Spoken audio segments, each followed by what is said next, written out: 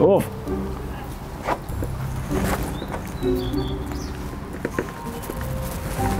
Aprinde, te rog.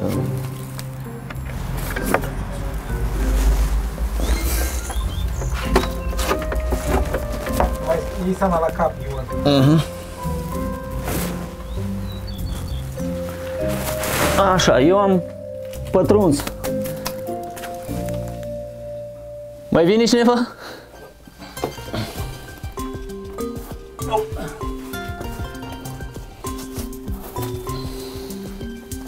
Pe ce m-am îmbrăcat în vesta alba? Păi aici, aici e în, trebuie să cobori în halat alb. Da. Da, și spune E mi perfect aici. Păi îți spun Ia că e, uite cât de... uite că sunt văruiți. Ia uite.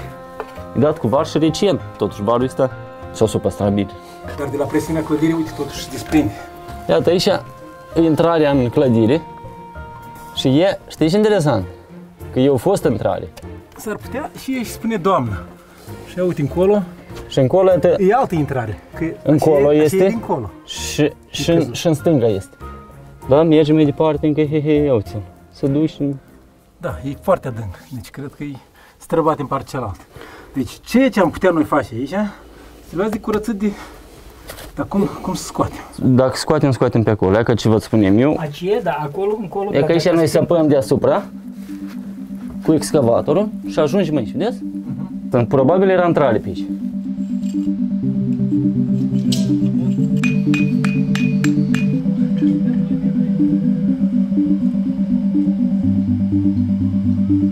Facem hidroizolare la fundație și când muncitorii făceau, adică săpători, le-au dat de tunelul ăsta. Atunci ei când s-au făcut toate lucrările, eu am rugat ca adică să nu astupi ăștia, să, să vedem ce este mai acolo. Când a descoperit, am văzut că e în galerie și am anunțat la arhitectură să să vedem ce este acolo. Am mai întrebat din bătrânii care pe aici locuiesc. Erau chiar părinți sau un locatar de aici.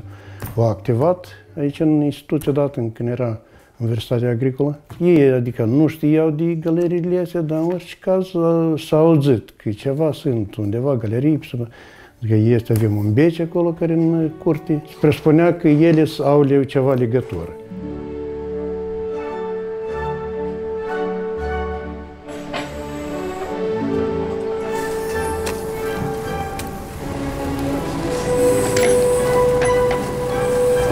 Această clădire are o istorie foarte interesantă. Ea este legată de nobilimea basarabeană, care la 1899 a decis să construiască un gimnaziu pentru copiii de nobili, dar ca în mare parte veniți de la țară. Pentru că sunt- era o criză de de locuri în gimnaziul din Chișinău și nobilii doreau ca copiii lor să studieze. În 1902 a fost un concurs care a fost câștigat de către Nicolae Țiganco, un arhitect care construise liceul real, care construise spitalul uh, Toba Ciorbă, avea o experiență foarte bună și el a făcut proiectul acestui gimnaziu. Gimnaziul era, uh, deci, cum îl vedem și astăzi, cu- au, fost, au intervenit doar război mici schimbări, dar avea biserică în interior, avea un internat de 70 de locuri și chiar avea state de telefoane. Deci o, o chestie foarte curioasă, care a fost folosită mai târziu.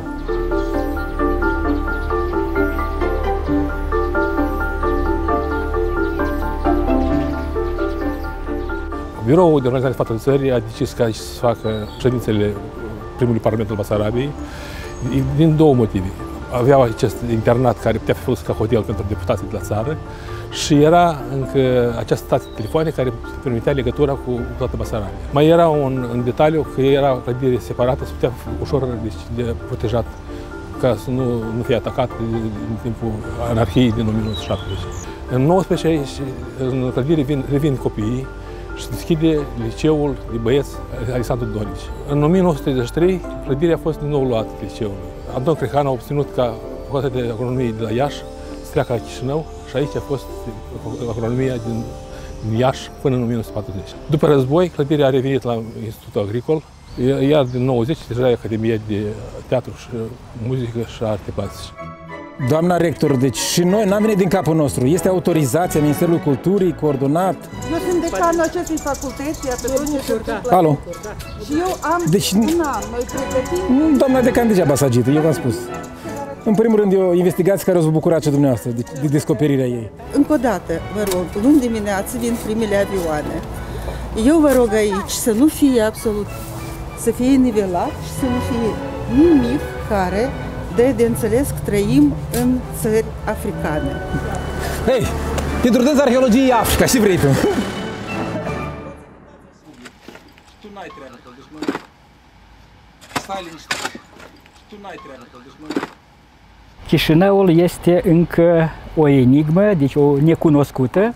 Vorbesc de Chișinău suprateran, cel de care îl zbor? călcăm cu picioarele zi de zi, pentru că s-au făcut săpături arheologice foarte puține. În Chișinău, care este o capitală europeană, totuși săpăturile sunt uh, sporadice, întâmplătoare, de salvare. O altă parte necunoscută a Chișinăului este Chișinău subteran. S-a dovedit prin cercetările, investigațiile noastre că și sub uh, Chișinău avem o întreagă rețea de galerii, uh, beciuri subterane, depozite, care practic au rămas până astăzi necunoscute. Una dintre acestea, iată, am găsit-o aici, în curtea Academiei de Arte. Este o necunoscută chiar și pentru rectoratul Academiei. Încă nu cunoaștem exact care este configurația, structura ei, dar din amintirile care ne le-au vorbit uh, profesori mai tineri care le-au văzut mai mult de 20 de ani în urmă, au o lungime apreciabilă, chiar unele mai mult de 50 de metri.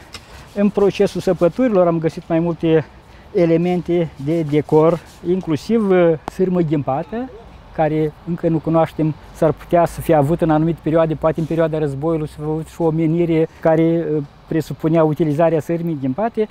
Aici avem uh, cărămizi descoperite din interiorul acestei construcții subterane, care au uh, marca de producție.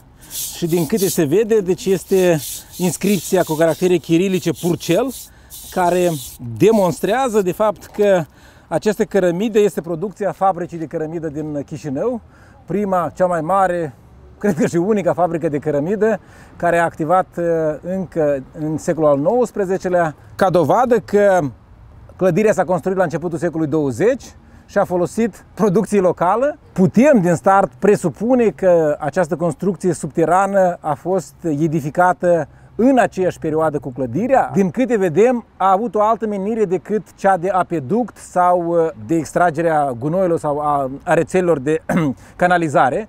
Uh, În interior este o cărămidă, cărămidă ca, foarte calitativă, foarte uh, bine amenajat, lățimea 1,50 m, deci asta înseamnă că se poate circula într-o direcție și în alta și cel mai impresionant este că a fost văruit pe interior, ceea ce înseamnă că această construcție a avut o altă menire și au ținut cont și de aspectul acesta al uh, păstrării unui nivel de umiditate și esteticul, deci deoarece dai cu var nu acolo unde nu circul. Anii război clădirea a pătimit și a, a fost deci, distrusă o parte din ornamente, o scară mare care dădea în partea de sud, spre, spre actualul lac al morilor, a fost distrusă. Sub această scară existau la fel spații și erau utilizate pentru chestii de, de gospodărie, de inițarea clădirii. Și Rosa Spirit, prima femeie arhitect din Basarabia, a făcut reproiectarea acestei clădiri și ea a căpătat înfățișarea care o are astăzi.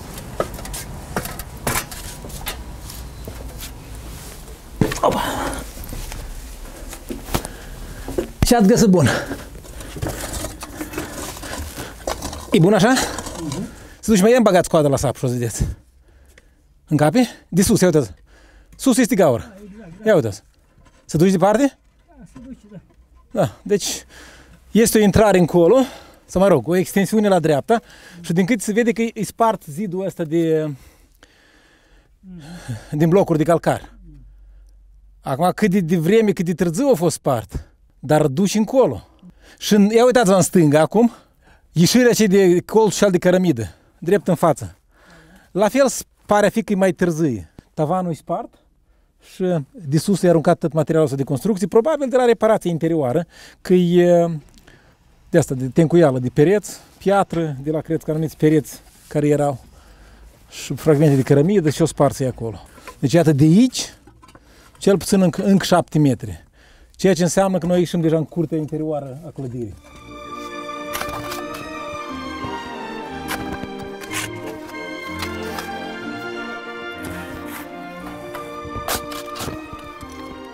Acolo am văzut uh, o situație, aici este similară, doar cu câteva detalii mult mai clare și mai frumoase. Deci conexiunea între groapa de acces și, de fapt, uh, galeria subterană. Vedeți bolta aceasta amenajată din uh, cărămidă, așa cum se cuvine la o boltă, deci în partea centrală se pune o piatră mai mare, după care, deci cărămida... Asta este cheie de boltă. Da, cheie de boltă se numește. Văruit, tencuit, deci e clar că e o rețea foarte uh, bine gândită, cu o funcționalitate, credem noi, după ce am discutat cu arhitecții, uh, legată de aerisirea clădirii, uh, mai ales că este simetric o altă galerie în aripa cealaltă a clădirii și asta, sigur că e o chestiune pentru arhitect să se gândească cum să reconstitui partea aceasta și în, în perspectivă cum să o valorifice.